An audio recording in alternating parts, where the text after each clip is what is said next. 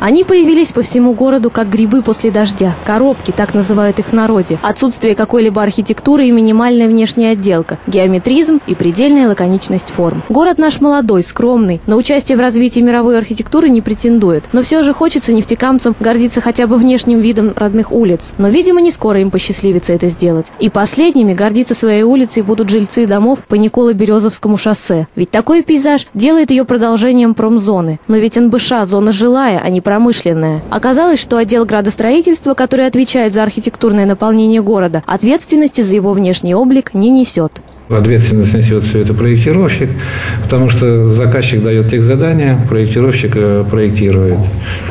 Э, заказчик э, утверждает этот проект, ну и согласовывается этот проект э, со всеми службами, в том числе и архитектурой.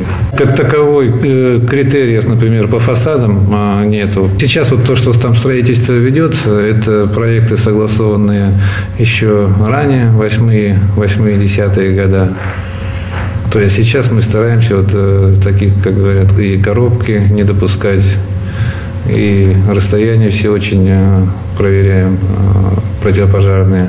То есть законом не поспоришь, тем более, если его нет. Вот и получается, что Нефтекамск по праву один из лучших муниципалитетов по развитию и поддержке малого предпринимательства. Закон также позволяет бизнесменам приобрести большой участок земли и выстроить на нем впритык друг другу сразу несколько зданий. Ведь согласовать их по отдельности легче, чем одно большое. Только получается, что соблюдение, например, норм пожарной безопасности может оказаться под вопросом. Как, например, в этом случае. Здания стоят довольно близко друг к другу. Соответствие построек нормам пожарной безопасности устанавливает с некоторых пор администрация, а не пожарный надзор. В зависимости от степени огнестойкости у нас нормируется расстояние между зданиями. Соответственно, есть определенные нюансы, но это уже нужно разбираться по каждому случаю в отдельности. Конкретно эти здания не проверялись. У нас произошла кадровая перестановка определенная. То есть у нас был период, когда у нас всего два человека оставалось на рабочем месте, в связи с чем пока проверки не проводились, но до 5 марта, пока действует особый противопожарный режим, будет это время наверстано обязательно и будут проводиться соответствующие проверки действующих объектов.